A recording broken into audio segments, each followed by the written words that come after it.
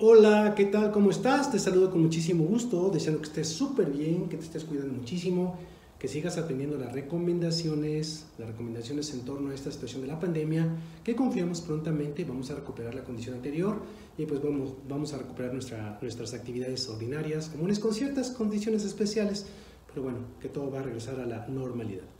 Bien, hoy te voy a platicar de un tema muy interesante que es acerca de las cataratas que se presentan en los perros, también en los gatos, pero principalmente en perros por eh, que tenemos más perros que gatos.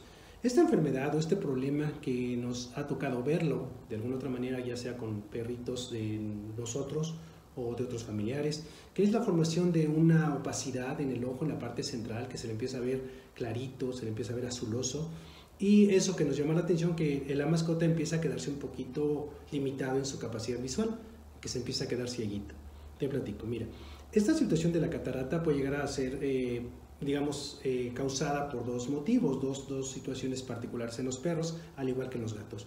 La primaria, que es la, la, formación de la catarata degenerativa, es decir, que es la que se presenta o se desarrolla por la edad.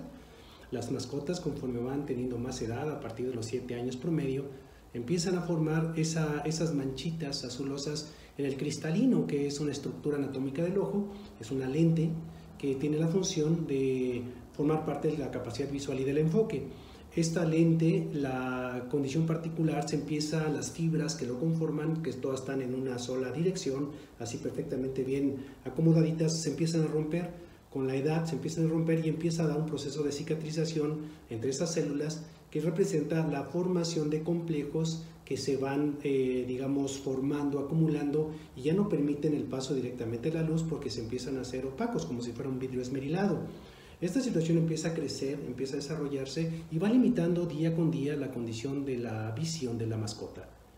Ahora, aquí lo interesante también es que cuando el perrito empieza a desarrollarlo, pues nosotros nos damos cuenta que empieza a tener un poquito de inseguridad, empieza a presentar algunas condiciones particulares que es bien importante que estés observando, en el sentido de que empiezan a tener ojos rojos, aparentemente sin la, eh, digamos, condición de alguna infección, alguna situación, digamos, de tener contacto con algo irritante, como podrían ser, no sé, humos o soluciones, digamos, de vapores de limpiadores, las córneas, en este caso las partes blancas también de los ojos, que se llama esclerótica, la empiezas a ver rojiza de ambos lados.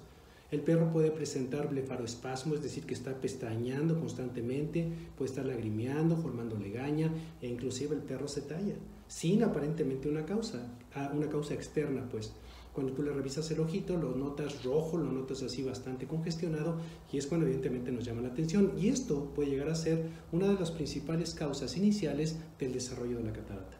Aquí evidentemente la recomendación es no aplicar ningún tipo de medicamento, llevarlo con tu veterinario para que lo revise y en un momento dado el médico determine cuál es el tratamiento que deba recibir o inclusive ser eh, remitido con un especialista, un oftalmólogo veterinario para que revise la mascota y determine cuál es el tratamiento más eh, recomendado para la mascota. ¿vale?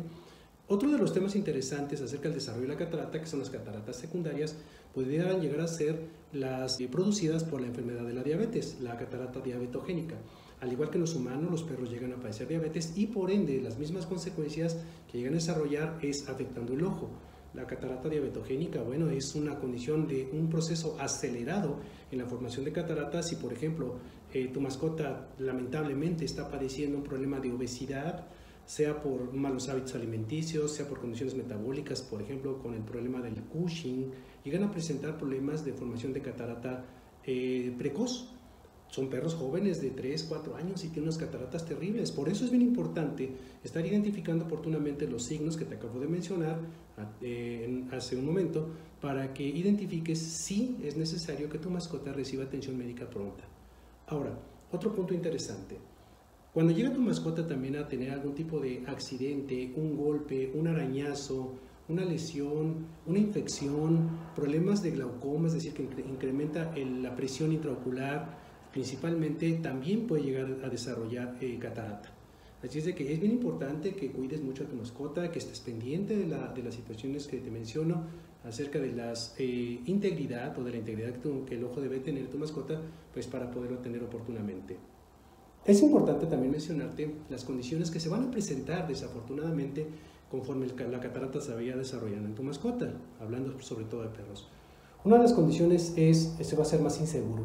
Tu perrito conforme va a ir teniendo más madurez en esa catarata se va, a ir perdiendo la visión y va a estar más inseguro, vas a notar que va a estar más chillón, más dependiente de tu presencia, eh, no se va a mover con la habilidad que anteriormente tenía, va a chocar con diferentes artefactos y pues eso representa situaciones de preocupación para los propietarios. La pregunta es, ¿existe algún tipo de tratamiento para catarata? Sí, sí lo hay. Principalmente es la catarata eh, quirúrgica, es decir, la corrección de este problema a través de una, una cirugía, un oftalmólogo especializado para realizar este tipo de actividad quirúrgica. Eh, el pronóstico es muy favorable, es decir, los perros llegan a recuperar mágicamente la vista, les colocan un lente, les, le retiran el, quirúrgicamente el cristalino que ya está dañado y se le coloca intracavitariamente una lente el, oftalmólogo ya establece cuál es el número de dioptrías que tiene que recibir ese ojo para que el, el ojo sea de nueva cuenta útil. No va a recuperar el 100% de la visión, pero sí en los casos que llegan a ser un éxito quirúrgico llegan a recuperar hasta un 90 a 95% la capacidad visual, o sea, es, muy buena. Sin embargo, tristemente no todos los pacientes llegan a ser eh, candidatos perdón, a recibir esta cirugía. El, oftalmólogo es el que va a determinar la condición del paciente en particular. Eh, también existe otro tratamiento que ha tenido cierta, cierta, digamos, aceptación y respuesta, que es el uso de la carnosina gotas oftálmicas al 2%. Eh, estas gotas eh, se pueden comprar a través de tu médico veterinario, claro, con la, autorización y la, prescripción de él, para ver si de alguna manera se puede eh, reducir la velocidad en la formación de la catarata. No la elimina, sí puede llegar a tener una reducción, una velocidad más lenta en la aparición, y eso es muy bueno. Finalmente, el tratamiento varía dependiendo de la condición de cada uno de los pacientes, pero no es quirúrgica, es decir, es una buena opción, es una buena alternativa las gotitas pueden llegar a ser un poco caras, pero pues valen la pena comparada con el costo de la cirugía oftálmica para la corrección de cataratas, es, es brutalmente distinto. Pero bueno, finalmente aquí lo interesante es de que estés bien pendiente y bien atento cuando tu mascota empieza a tener un poquito de mayor edad, que te acerques a tu veterinario para que identifique el nivel del desarrollo de la catarata y que te dé las indicaciones eh, correspondientes para que lo vayas atendiendo. ¿vale? Es importante no automedicarlo y como siempre, ya sabes, te he mencionado que controles mucho el peso de tu mascota en toda una situación de una alimentación balanceada, eh, los antioxidantes como la vitamina C, la vitamina E, la vitamina A que contiene las, las croquetas, le van a dar o lo van a proporcionar una condición eh, buena, suficiente para reducir la formación de este tipo de problema. No lo va a eliminar, ciertamente, pero lo va a reducir. Así es que los pacientes o las mascotas que llegan a estar comiendo alimento no balanceado, comida de la casa, etcétera, etcétera, pues sí, tienen más predisposición en principio a padecer problemas de obesidad o sobrepeso y desarrollo de catarata diabetogénica. Pero aparte de eso, pues evidentemente los, los eh, soportes que están teniendo o las carencias que están teniendo por no tener una alimentación balanceada a través de los oligoelementos, incluyendo las vitaminas y los minerales, aceleran el proceso de la formación de esta, de esta malformación del, del, cristalino, conocida como catarata. ¿Vale?